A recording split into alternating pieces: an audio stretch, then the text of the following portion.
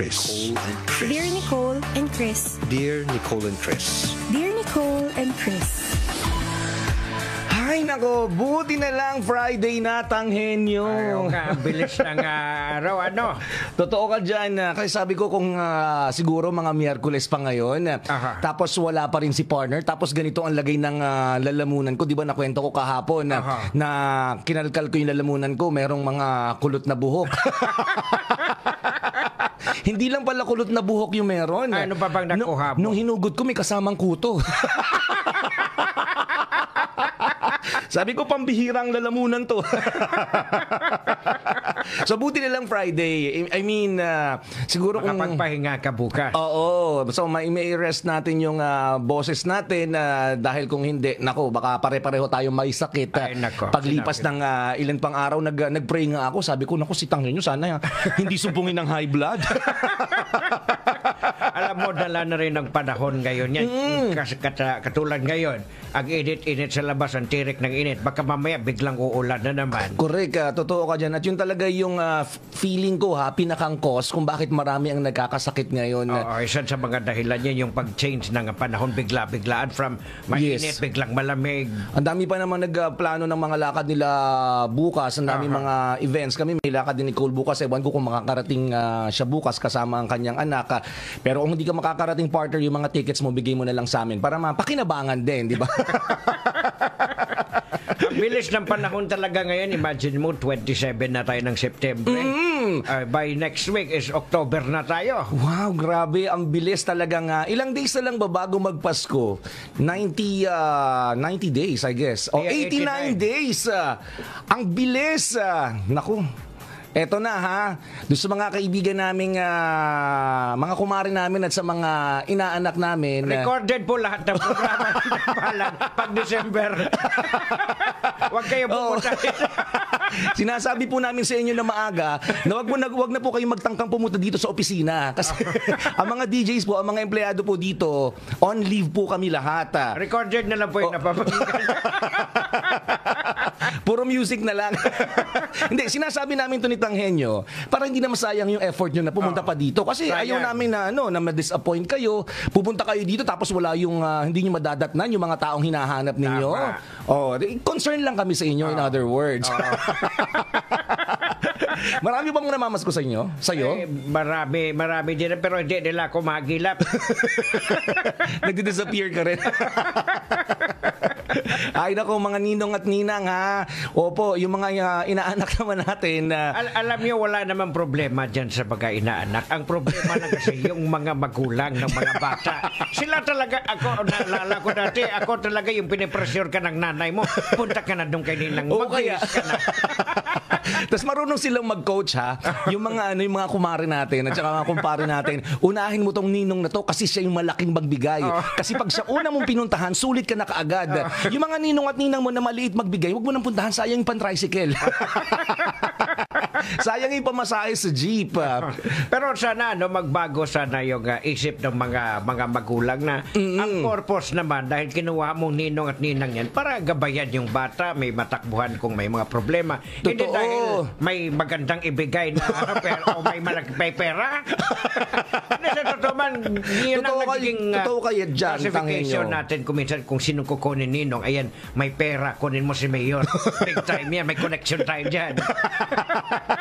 Huwag niyo pong gawing parang ATM yung mga ninong at ninang na every time na makikita, eh bibigyan kayo ng pera. Hindi po gano'n. No? O kaya minsan kasi kinukuha natin na maging kumare-kumpare. Yun nga dahil ma-influensyan tao, may ah, posisyon sa lipunan, Tama. nakaaangat sa buhay. Hindi gano'n lagi ang ano, pagtingin at pagpili sa mga ninong o ninang. Isipin niyo yung ah, magiging ah, dapat pangalawang magulang sa inyong Aha. mga anak. yung uh, matatakbuhan ng bata, yung magbagagabay sa bata. Kaya nga, ang tawag dyan sa English, di ba, Godfather. Mm, tama, oh, 'di ba? Hindi ano, Hindi yung uh, parang anong tawag dito. sugar daddy. Eh di baguhin na lang natin. O sino bang kukunin natin sugar daddy ngayon? o sugar mommy? Di ba? At least malinaw ang usapan.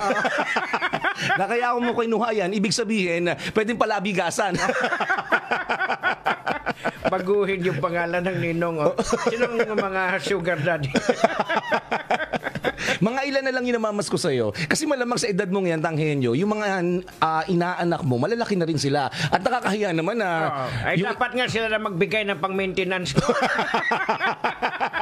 Maawa na kayo sa matanda, uy. Dadalawin niyo si Tanghenyo tapos sa hingan niyo pa ng ano, ng ah, Aguinaldo, pang maintenance niya, na- niya na yun eh. Para sana ma- mabago din anong yung ah, ugali nating mga Pilipino na Mm. pag Pasko pupunta kay Ninong para manghingi. Why not ikaw naman na magregalo sa Ninong mo? Oo, balik na rin naman natin Oo. ngayon, no? Yung maalala mo yung... ah, ah, yung simpleng magdala ka ng ah, bulaklak o pagkain. Malay mo baka Oo. matuwa si Ninong, eh, pat, bigyan ka rin din. Tama, Dapat di ba? ganun eh. Tsaka yung ah, ang sarap sa pakiramdam yung mga inaanak natin na nagiging parang tropa din natin. Aha. Yung dinadalaw kahit para hindi lamang manghingi ng aginaldo, yung di mo Aha. dadalawin ka, "Nong, musta? Oo. Tara, may dala akong ano, something dito. Inom tayo." Mga Ay, ganon. mga ah. dapat may ganon. Di ba? Hindi yung, "Nong, musta? Pengin pera." Wag naman laging ganon. ang nangyayari. Nong, ah, nang, ah, nasa naginaldo, di ba? Pengin regalo. Wag ganon. Parang ah, walang pinagkaiba yan sa nararamdaman ng mga OFW na tuwing kakamustahin sila, it's all about money, it's all Totoo ka about pera, dyan, pera. Mabigat yan para sa kanila. Oh, hindi nyo po alam yung ah, pinag-iipunan namin na, na napamigay sa inyo eh talagang pinaghirapan namin. Yung 13 month pay nga namin minsan hindi na namin napapakinabangan kasi binabudget namin teka ilan na ba yung inaanak ko? Ilan na ba yung pumupunta sa akin tuwing ah, December? Di ba? Ilan na yung mga pumapupunta sa bahay namin para mamasko? So pag na, na, na-realize ko, tanghenyo, yung 13 month pay ko, doon lahat napunta. Isipin mo yun. sa mga inaanak mo. so tama ka ganun din sa mga OFW, hindi nyo alam kung paano nila pinaghirapan yung pera. Wala na nga natitira sa sarili nila, kakabigay sa mga nandito sa Alam Pilipinas. mo, may suggestion ako, Chris, kung marami ka ga- mga inaanak, ang gawin mo, idaan mo sa Facebook. Mm. Ah. Ka lahat ng mga pangalan na anak mo nakalista ka mo, may parapo lang. Kung sino mabubunot, yun lang makakatanggap ng regalo. Walang samaan ng loob. Pwede, maiba naman. ah. Tapos ang announcement, ah, di ba abangan na lang nila sa Oo. Facebook. Maganda, kailangan digital na rin. Oo, mag-Facebook live ka. Ito na. mga inaanak. Ito na ang araw na nana- pinakahihintay nyo. Ang makakatanggap ng regalo mula sa akin ay si... Wala pa nakaisip nun ah. Gawin nating online para yun nga, ito naman concern lang kami sa inyo. Aha. Ibig sabihin, Huwag na kayong pupunta sa bahay. Abangan nyo na lang yung ah, yung raffle draw Aha. online. Oh, tsaka ngayon kung magpadala ng ah, regalo man lang, andyan na yung mga courier like yung mga Lala Move, yung mga Grab Express. Ah, pwede. Pwede nang ipa-deliver. Hindi yun na kinakailangan pumunta yung mga naiisip natin, eh, no? Para-paraan. para makaiwas. Minsan nga may phobia na ako dyan. sa mga inaanak ko. Alam mo nakaka-stress every time nabili ka ng ano nung ano yung ampaw. Kasi doon mo nilalagay para makapal-kapal eh. Tsaka hindi hindi pa kahit itapat mo sa ilaw, hindi nila maaninagan kung uh, ang laman nun ay 100 o 500 o kaya 1,000. Tsaka isa pang tip ako maglalagay sa ampaw. Huwag kayong magpapapalit ng bagong pera. Mas maganda yung luma para mas makapal. Tama, mas maumbok-umbok. Oo, every time na maglalagay ako sa angpaw, na, na ano ako eh, na, na-stress ako eh. Sabi ko, iniisip ko, pambili ko na ng bagong cellphone to. pambili ng bagong sapatos, sana, pam, pambili ng gatos ng anak ko. Ikaw, kabisado mo ba yung mga inaanak mo? Hindi masyado sa pangalan, pero sa mukha, medyo-medyo. Grabe, nalalapit na kasi 89 days na lang mga kaibigan na ang ah, Pasko, talagang ah, sobrang ah, tayo, tayo mga Pinoy pa naman, sobrang pinaghahandaan natin itong mga to. Labasan talaga ang pera. So, wag niyong isipin ang pera lagi nasa ninong at ninang. Correct. Nihirapan din kami dyan, Noy. And then nyo ba alam na yung pinamimigay ng ninong at ninang, yun din yung binibigay sa kanila? Oh. Umiikot. Umiikot.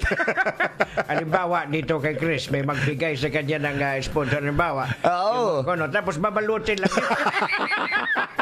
Wag mo ipalata, mo sabihin sa kanila. na recycling ang tawag doon.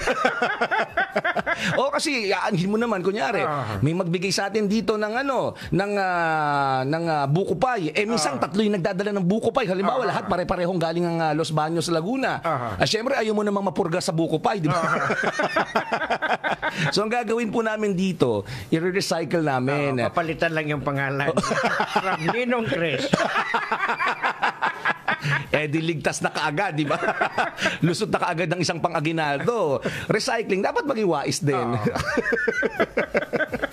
Ay, nako. 89 days mga kaibigan na ngayong Pasko. Anong klaseng, ah, it, bago magpasko, anong klaseng paghahanda na po ang ginagawa ninyo? Pero sa ngayon, ito talaga yung uh, panahon na maganda mamili ha. Kasi usually ang mga department store, yung mga ano, magpapalit yan sila ng bagong stocks, magre-replenish. So magsisale sila ngayon. Correct ka. So, ibig ngayon sabihin, uh, perfect time na bumili ka ng mga pangregalo. tama. So, kasi yung mga bibilhin nyo luma na po. Kaya mura. Oo. Kasi pag December, pag palapit na yung season talaga, doon sila nagbabago ng mga stocks. Kaya kinakailangan ma-dispose yung mga luma. Tama ka dyan. Ako ang ginagawa naming ano, paghanda sa sa bahay. Ganito pa lamang, nag-start na kaming mag, ano, mag-decorate. Eh. Ayun. Oo. Minsan, uh, para-paraan tayo, no? Aha. Minsan yung, kahit wala kang ano, wala kang ah, pambili ng Christmas tree, yung mga halaman sa bahay nyo, kabitan mo lang Christmas light, Ay, pwede na dati, yun. naalala ko sa panahon dati, alam mo yung ah, lagayan ng ah, ice candy wrapper? Oo. Lalagyan mo lang ng coloring tapos ibibitin mo doon sa mga... Oo, kaya, di ba? Ganun lang, okay na. Masaya na sa tignan. ah. Parang may Christmas tree ka na rin din. Totoo ka dyan, tsaka yung mga bilin, yung mga nanay natin, ang tsaga-tsaga nila maggupit-gupit ng mga balat ng chichirya. Tapos yun yung gagawing sabsaban, yun yung gaw- gagawing mga mga damo. Tapos yung mga toy na binili lang sa tabi-tabi, yung mga laruan ng mga batang mga dinosaur. Tama. Kahit walang dinosaur sa Bethlehem. Nilagay niya. doon nakasakay yung tatlong haring mago. Dinosaur. Magulat ka. eh. yung mga dinosaurs sabsaban. Kaya bibilib ka sa mga nanay. yung mga bata naman, tuwan-tuwa din, ah, may dinosaur. At saka maganda yung sinabi mo, Chris, na pwedeng maging banding ah, time to ng mga nanay Yes. at mga bata. Hindi lang yung puro gadget. Ha. Tama. Na turuan yung mga bata gumawa ng ganyang bilin. Mag-project kayo na bilang magina, magina o pamilya. Totoo ka dyan yung DIY. Aha. Di ba ginagawa to ng mga ano ng mga masisipag na nanay din. na Aha. Totoo yan. Kami yung poinsettia namin. Ano ba ba poinsettia? Poinsettia. Hindi ko alam. Di ba yung mga ano, yung mga tuyong dahon. Aha. Tapos gina kinukulayan lang ah, namin. Tapos pinagsasama-sama hanggang sa maging parang ah, ah, bulaklak na din. Tapos saka mo i-decorate sa bahay ninyo, di ba? Natututo ka na, nagkakaroon pa kayo ng bonding moment ah, ng Correct. iyong ah, nanay o kaya mga kapatid. di Tama. ba? So, yun ang pwedeng ah, gawin. Paghahanda ngayong ah, darating na Kapaskuhan. Ako, isa rin paghahanda ako talaga nag-iisip ako kung saan ako magtatago. Eh. Medyo mahirap na paghahanda para sa akin. saan ka pa pupunta, Tanghenyo? Ako siguro baka Baka pwede sumama, magtago. maghanap din ako ng ah, isla. Magpakalayo-layo tayo. No? May iwasan lang ang mga inaanak. ah. Merry Christmas sa inyo mga kabisyo. Ngayon pa lamang, ah, ngayon darating ang sweldo. Aha. Nako, isipin na natin. next wag mas- week pa, ha? next week Oh, pa. ano- sweldo. next week pa ba? ano ba yan? mo ngayon. oh, ito darating na sweldo mga kaibigan na mag magsubi tayo para sa darating na Kapaskuhan, di ba? Wag lustayin kasi mahirap talaga pag yung 13 month pay natin ma-realize natin naubos ng ganun-ganun na lamang. Tsaka di ba? practicein nyo yung ano, yung ah, huwag kayong bibigay sa temptasyon yung mga sales talaga. Like for example, yung mga ah, lumang Christmas decor ninyo. Huwag kayong bibili ng bago kung pwede pa yung nakaraan. Tapos Tama. reinvent na lang. Be more creative. Tama, reuse and uh, recycle. Ayan. uh, pwede yan. Para-paraan na para makatipid uh, ngayong Pasko. O mamaya ulit tayo magkakasama-sama, bonding-bonding, kasama si Tanghenyo at si uh, Chris Chuper. Si Nicole Yala po ay kasalukuyang paring may turok sa kanyang uh, lalamunan. kasi po lumalaki po yung ano eh. Hindi ko nga alam kung ano, goiter ba to o ano. pero, pero confirm po, Adam's apple po, Yung tumutubo Adam's ulit. oh, get well soon. Uh, sino ba may sakit ka nalilito ako? si Prince. Ah, si Prince. So, partner, pagaling ka din, ha? O, pagaling ka sa ano, sa sakit mo sa utak, ka. Mamaya ulit tayo magkakasama-sama kaya't manatiling nakatutok dito lang sa istasyong Patok na Patok, ang istasyong bawal ang hate, dapat ah, love lang. Ang programa